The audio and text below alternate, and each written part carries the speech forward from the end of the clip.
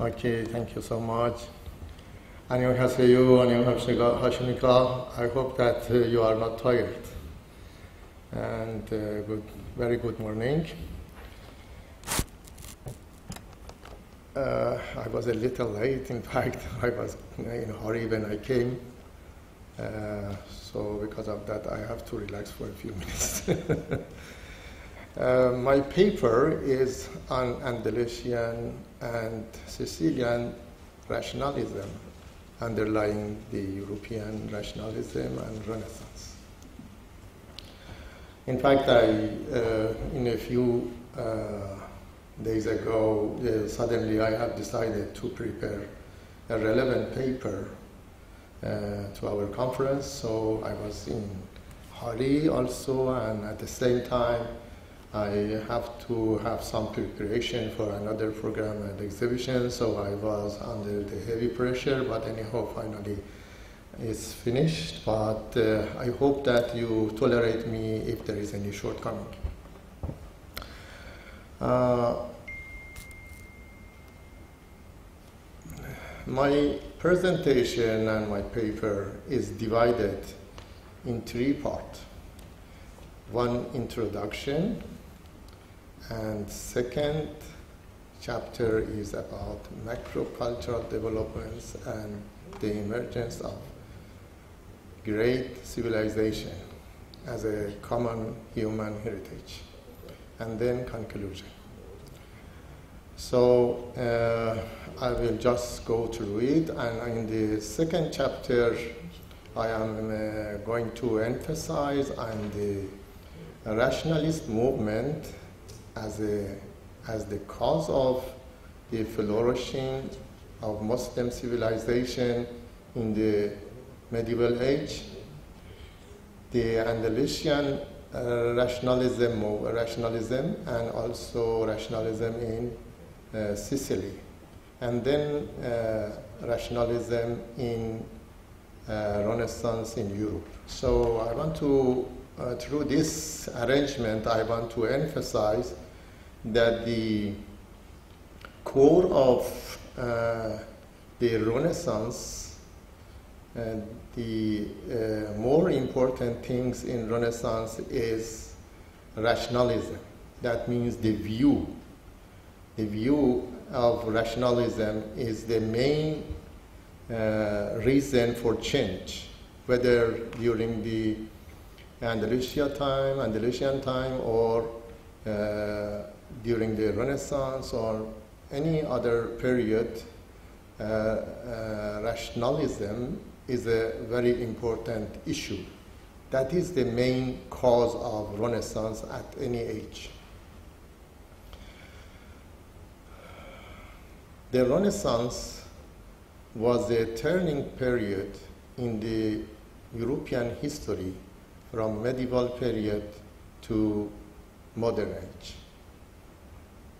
The Renaissance was a turning period in European history from Dark Age to, to the Age of Enlightenment. Purposely, I have put these two phrases uh, because there is two view here. Uh, there is a view that uh, Renaissance, in fact, is an independent European movement so it is a kind of internal and uh, internal European movement. So Renaissance is not related to any other period. Uh, it is a European movement.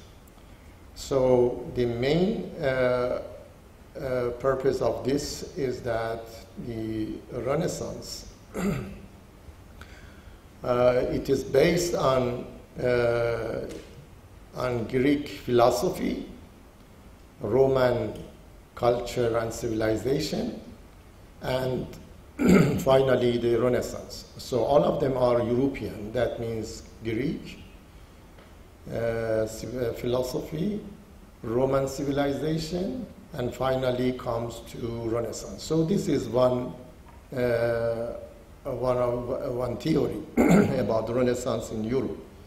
And the second one, the Renaissance, was the turning point, turning period in European history from Dark Age to the Age of Enlightenment. This is another theory which mostly some historians emphasize on the issue. Uh, some Europeans are not comfortable and happy when they use Dark Age. So, and mostly these people try to connect and interrelate uh, the Renaissance, European Renaissance, with, uh, with the medieval civilization. So these two views are there. So because of that, I have mentioned these two paragraphs, two sentences that they are very similar to each other. It is based on the emphasis that these two groups have. Does the, uh, the, the main question is this, does the Renaissance have anything to do with medieval civilization and previous civilizations?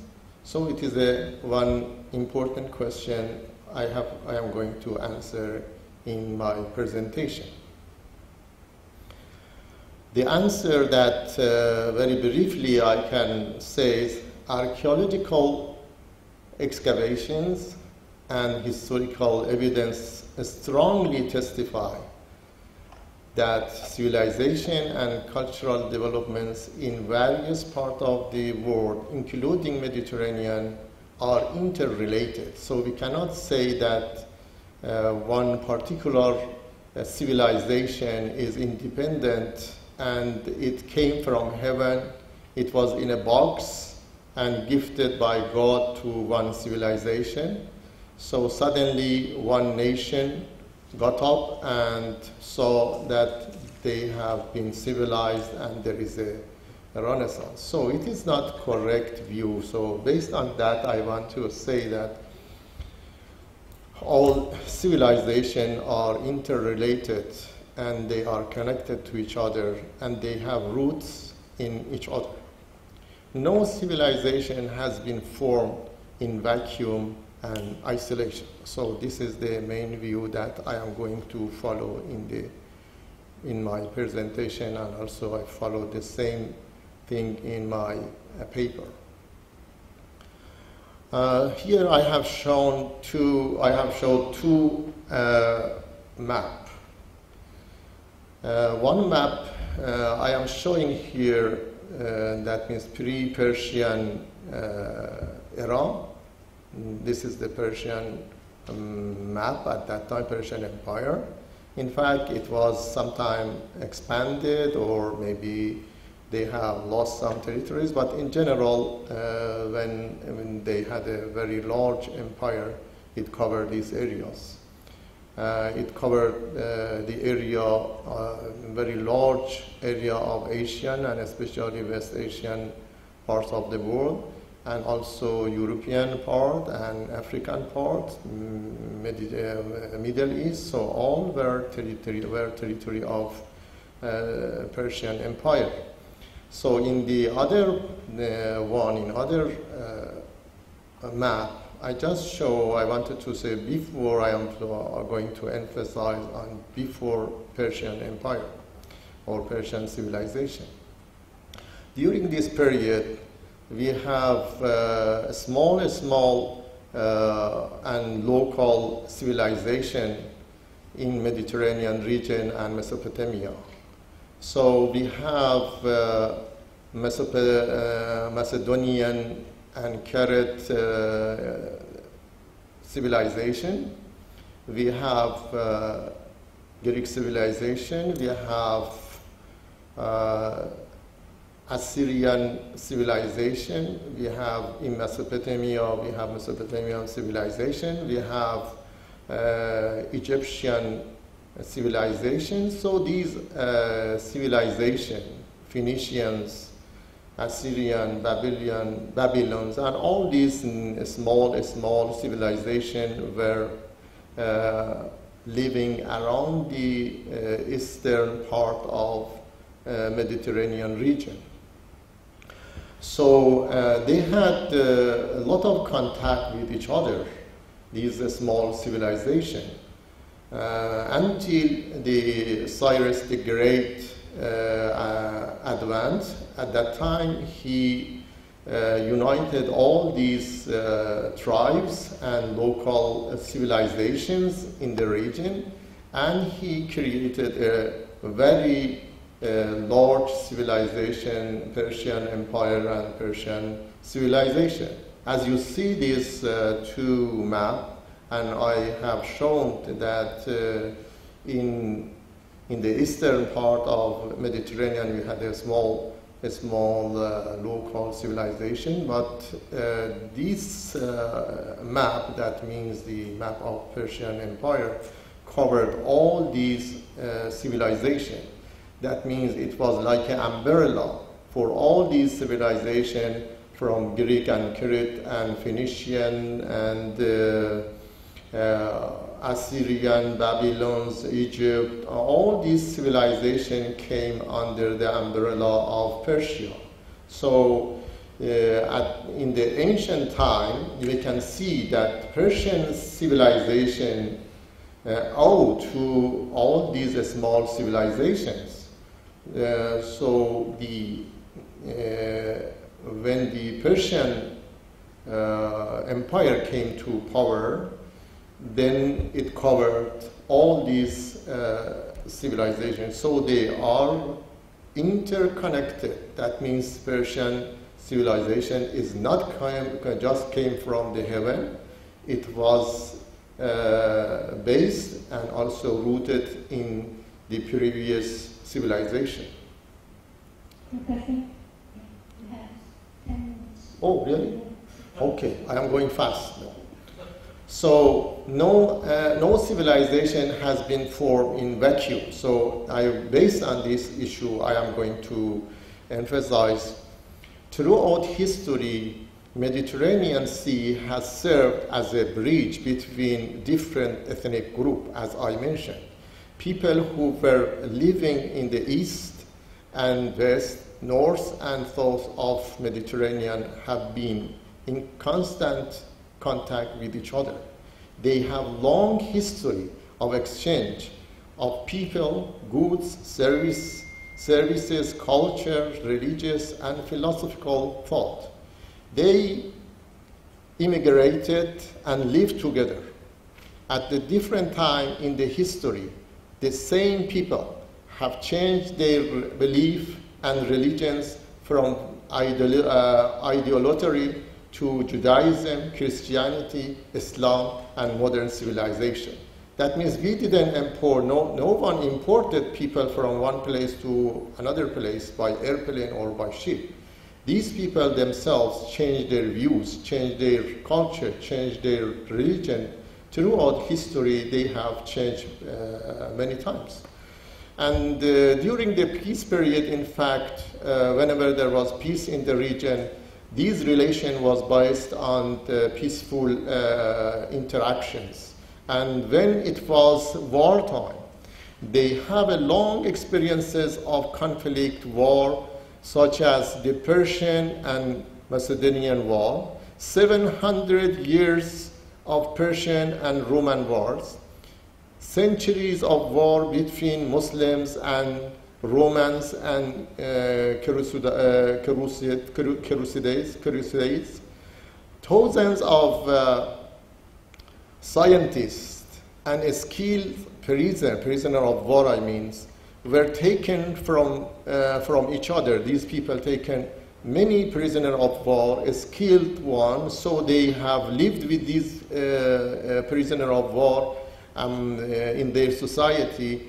And uh, many technology, many uh, uh, technique has been transferred, many knowledge has been transferred through these prisoner of war to the uh, victorious, uh, um, victorious forces and the nation.